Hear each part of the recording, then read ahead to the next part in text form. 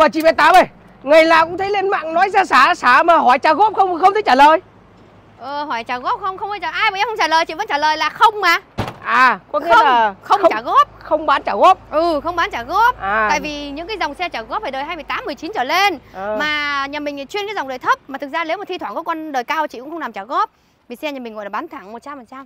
À, bán thẳng 100% nhưng Ừ, mà thế con, con này nó là, có là cửa, có xe. Con này cửa tiền nó có cao rồi gì? Con này nó chỉ loanh quanh tầm 245 triệu là sao phải trả góp. 245 triệu nhưng mà khổ cái bây giờ vợ cho có 200 thì bây giờ biết làm Rồi gì trong bây giờ? 200 mình lại cố làm à, À. thêm 4 5 triệu nữa.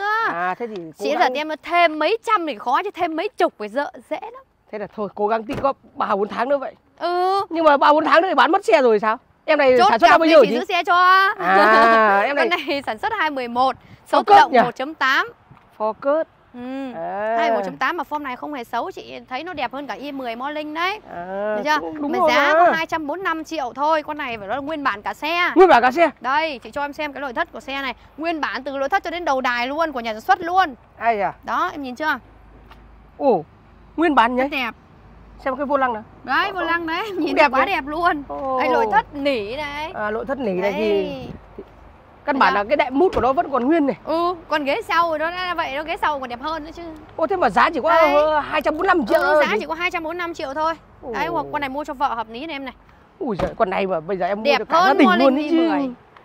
Cốp Đi cả gia rộng. đình đẹp hợp lý. Đó, có 245 triệu thôi, động cơ 1.8. Đây, cốp rộng mênh mông. Thế là bây giờ là cửa tiền em hơi đuối đuối thế thì giá cả vẫn còn thương lượng tí chứ Ừ, chị giá chị vẫn bớt cho chút nữa.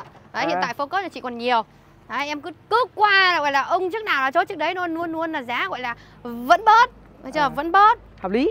Được chưa? Đẹp Ờ, không? Ok chị quá đẹp 211, luôn. 245 triệu.